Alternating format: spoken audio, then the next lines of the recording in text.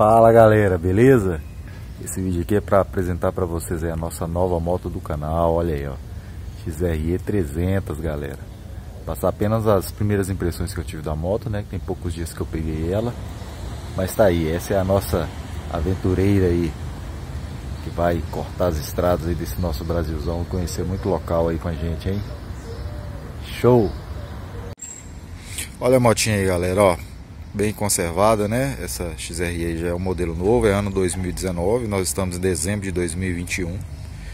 Então, esse modelo que eu peguei aí, né? Essa moto que eu peguei aí, né?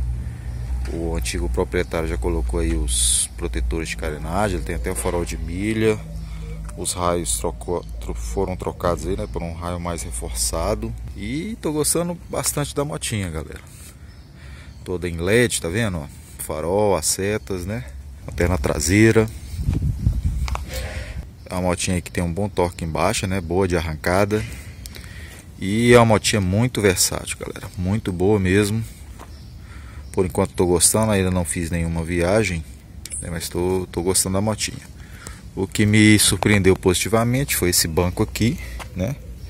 Que é um banco bem razoável, bem confortável, porque os bancos, geralmente esses bancos dessas motos são bastante duros, né?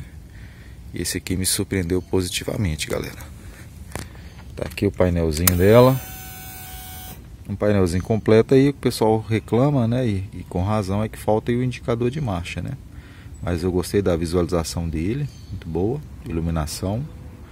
E a questão do consumo até agora, lógico que vai variar, né, galera? Tô andando bem tranquilo aí, tá fazendo na casa dos seus 30, né? Acredito que no percurso aí médio de cidade estrada deve fazer mais de 28. E é um consumo bacana, né? Galera, ela é uma motinha aí com seus aproximadamente 25 cavalos, 2.8 kg força metro de torque, é, aproximadamente também 150 kg, então considera uma moto leve, né? Isso aí tudo contribui para a agilidade dela. E por que, que eu optei pela XRE, pessoal? É porque eu estava querendo uma moto um pouquinho mais off, né? E uma moto de uma manutenção relativamente mais barata, com peças relativamente mais baratas, né? Que você encontra mais facilmente. E a XRE encaixou nesse perfil aí. E é uma moto também que atende, né? A questão da estrada de terra, né? né? A roda raiada, tem uma roda maior, aro maior, né? Mais off e também atende a questão da, da estrada, né, pessoal? E eu ainda não viajei nela, mas pelo pouco que eu andei aí já vi que ela chega no seu 110, 120. Lógico que o, o giro aí vai aumentar bastante, né? Porque trata-se de uma moto com uma proposta mais trail. Mas nós vamos testar aí mais na frente, né? Mas, mas tudo indica que ela vai satisfazer aí. Essa questão do, do desse percurso misto, né? De terra e asfalto. É uma moto assim muito ágil, galera. Uma ciclística muito boa. Considere uma moto leve, né? Igual reforcei para vocês, torque embaixo é muito bom, então né, você tem força aí para conduzir a motocicleta aí com segurança. Tô gostando, viu, galera? Muito bom. Vamos agora colocar ela nas viagens aí nessas estradas aí do nosso Brasilzão para ver como ela vai se comportar. Ela aqui na, na rodovia. Olha só, motinha muito versátil, igual eu falei para vocês. E quando eu falei do giro, né? Claro que o giro vai subir em velocidade mais alta.